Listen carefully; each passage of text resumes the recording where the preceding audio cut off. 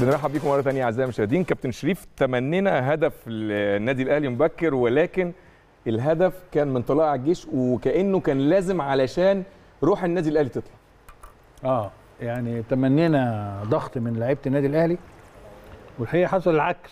لقينا فرقة طلائع هي اللي بتضغط مم. واللي هي بتستغل آه وجود مهاجم واحد بيدافع على أربع لاعبين بنوصلهم لغاية نص الملعب بتاعنا بسهولة على فكرة. مم. وأي لعيب أنت بت بتسيب له الملعب مفتوح بي بيدي اللي عنده مم. ولما بيدي اللي عنده بتعمل لود على الخطوط بتاعتك أيوة. بتعمل ضغط على نص ملعبك وعلى آه، الدفاع بتاعك إنما شوط قمة الإثارة الحقيقة آه، فرقتين آه، عندهم معطيات كتيرة قوي بيدوها في الملعب آه، كل فرقة يمكن النادي الاهلي عنده استراتيجية إن هو ينقل كرة كتير ويفتح مسافات للأجناب ويبتدي هجمات طبيعية من أدائه هجمات آه، فيها ثقة إن هو يقدر يوصل اللي حصل اللي هو في آخر آه، ربع ساعة يعني. بس هو كان بيبتدي القصة الكلاسيكية دي من أول الضغط من مم. أول آه، المباراة. إنما فرقة طلائع الجيش موجودة على أرض الملعب. فيها أيوة. تحركات فيها سرعة فيها وجود فيها فنيات عالية كتير فيها إحنا لعيبه اللي مديانهم الفرصة؟ أعتقد آه أعتقد إحنا برضو ما زلنا متأخرين في عملية الضغط.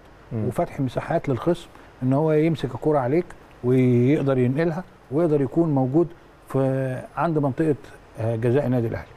آه كويس النادي الأهلي إنه رجع بلاعب آه جونيور أجيه بيلعب مدافع وبيلعب مهاجم وبيلعب playmaker شايل ثلاث أربع لعيبة جنبه الحقيقة بيقوم بمجهود غير عادي الحقيقة مع فنياته العالية وتعامله مع الكورة.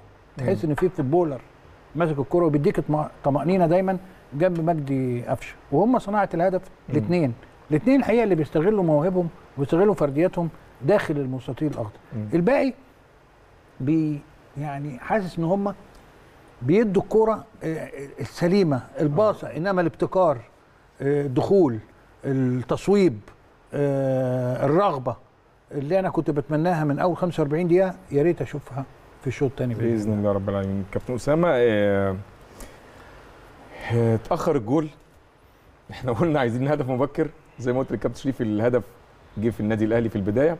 ولكن في بعض الأوقات تحس إن النادي الأهلي قريب من ال- انه يجيب الجول الثاني وفي نفس الوقت نادي طلائع الجيش برضه قريب انه يجيب الجول الثاني أنا بصراحة ما عجبتنيش البداية خالص بتاعت النادي الأهلي. بداية ضعيفة جدا. عكس ما أنا كنت متوقع. أنا كنت متوقع بعد الهزيمة اللي فاتت من ماتش سيمبا النهارده البداية هتبقى شرسة جدا من مم. كل اللعيبة. أنا شايف إن في لعيبة كتيرة في الملعب مع احترامي مقصرين. يعني باستثناء كابتن شريف قال على اتنين أجاييه وقفشة في النص الشوط الثاني يعني من نص الشوط قفشة برضو البداية ما كانتش حلوة. معظم اللعيبة آه، آه، الحالة مش مش مش كويسة. يعني محمود وحيد المفروض يبقى أحسن من كده. آه، شحات المفروض يبقى أحسن من كده. آه، شريف ما فيش حاجة بتوصل له. حتى السولية وحمدي فتحي مش في الحالة الكويسة بتاعتهم. يعني آه، هاني الانطلاقات ال- للمساعدة اللي قدام تحس إن فرقة طلائع الجيش إصرارهم وروحهم على الاستماتة على ال- على النقطة أو كده أكتر من من روح لعيبة النادي الأهلي. مم. يمكن إحنا ابتدينا نفوق ممكن بعد مثلا 25 30 آه. دقيقة اللي ابتدينا يبقى في إحساس ان ان ان ان, إن في حاجة وجود. حتى خطورتنا على المرمى بالنسبة لل لبسام. مش موجودة بشكل كبير هي أيوة. كرة الجون ويمكن تسديدة لمجدي قفشة ولا حاجة ف أحمد سمير عامل جبهة كويسة قوي ناحية اليمين عمرو جمال بيشتغل كويس الثلاثه بتوع نص الملعب مسيطرين أكتر من نص ملعبنا صحيح. فنتمنى إن شاء الله الشوط الثاني يبقى أفضل من كده. بإذن وأنا أعتقد إن مستر موسيماني محتاج تغييرات. تغييرات؟ طبعا محتاج تغييرات. من بداية الشوط الثاني من بداية الشوط الثاني دي من وجهة نظري. أنا. كابتن عادل نتيجة الشوط الأول من وجهة نظرك الفنيه تتناسب مع أداء الفريقين لا يعني أنا أنا متخيل التراجع اللي هو بيبقى في الشوط الأولاني للنادي الأهلي ودي مش واردة في المباراة بتاعت النهارده بس هي من مدة كبيرة ويمكن إحنا اتناقشنا في أكتر من مرة. اللغز إنك أنت في النادي الأهلي أول ربع ساعة ما بتبقاش آه بيبقى بتبقى مضغوط دايما بتبقى الكرة مش في استحواذك كتير. أنا من وجهة نظري حاجة من الحاجتين لا أداء تسخيني ممكن يكون فيه مشكلة ولازم يبصوا عليه في التسخين عشان التسخين بيؤدي على إنك أنت أهدافك عاوز تعمل إيه في المباراة. دي حقيقة. الحاجة الثانية المهمة التراجع بتاع آه، بدري بنون لما بيعمل العمق الدفاعي ومحمد شريف بيبقى على ال 18 بحس إن النادي الأهلي دلوقتي ما بيلعبش كتلة واحدة. آه، بيبقى في جاب كبير قوي في ال- ما بين نص الملعب وما بين المدافعين وما بين المهاجمين من النادي الأهلي عشان كده المساحات بتبقى أكبر. فالأداء بيبقى فيه آه، عاوز أقول لك إيه آه، حتة الواحد ضد واحد. لكن بعد 20 25 دقيقة النادي الأهلي تصيد المباراة. ضيع فرص كتير قوي. الحاجة الثانية المهمة الأخيرة اللي عايز أتكلم فيها أفتكر إن الهدف لما بيجي يعني في قفشة أكتر من واحدة كان ممكن يطلع آه، محمد آه، محمود وحيد. محمود وحيد وكان مظبوط. ممكن يروح على الجون هفكر إن هو يشوط. الحاجات دي مهمة جدا إن النادي الأهلي يستغل الفرصة مظبوط. ويجيب هدف أو اتنين يخلي الفرقة الثانية تلعب على البلان الثاني اللي. هو الطريقة الثانية ليها. مظبوط. كابتن أسامة آه، اتكلمنا قبل ما نطلع على طول على البدايات. آه.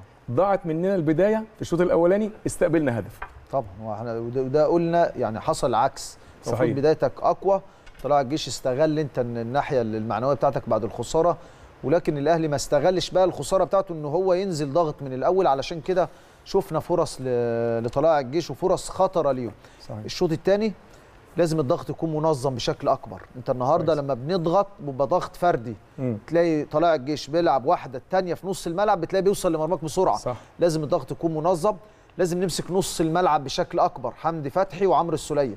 لازم يبقى ليهم تواجد أكتر في نص الملعب. حمدي فتحي عنده انذار لازم يكون عنده هدوء شوية علشان لا قدر الله ياخد الانذار الثاني آه لازم ضغط من بداية الشوط الثاني. صحيح. يعني إحنا بدأنا ندخل في المباراة بعد هدف آه طلائع الجيش، أحمد أحمد سمير. سمير, مم. بدأنا نشتغل بشكل مظبوط. كويس. بدأنا نروح نوصل آه. للمرمى. عشان كده كويس إن إحنا أحرزنا الهدف في الشوط ال- الأول. دي المفروض تكون بدايتنا الشوط الثاني. طبعا لازم يكون إحنا بقى لينا دفع أكبر وهدفنا أكبر الشوط الثاني إن شاء الله. بإذن الله رب العالمين. كل التوفيق للنادي الأهلي إن شاء الله في الشوط الثاني. هنروح لفاصل ونرجع لحضراتكم مرة أخرى بعد نهاية المباراة. أرجوكم انتظرونا.